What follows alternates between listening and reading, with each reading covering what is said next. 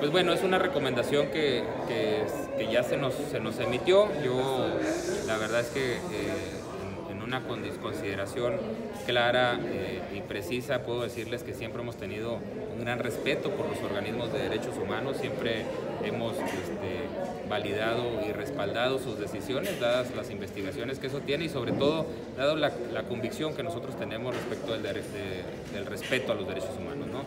Esta, esta recomendación la estaremos atendiendo de manera puntual eh, eh, en, los, en, los, sentidos en los que está, ¿no? es decir, tanto tomar medidas para que esto sea algo que no se vuelva a repetir, mejorar nuestros procesos internos, mejorar lo que, lo que en su momento eh, estaba aprobado y que hoy tendría que ser revisado nuevamente para, para modificarse, como son nuestros protocolos de actuación, y por otro lado también este, llevar a cabo cursos de sensibilización y capacitación a todo el personal pues para eh, ese, esa, pues esa reforma a nuestros, a nuestros mismos protocolos.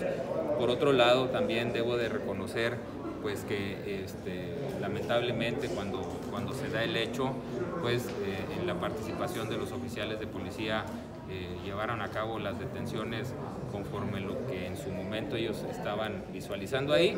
Sin embargo, esto pues, no quiere decir que necesariamente no se pueda mejorar.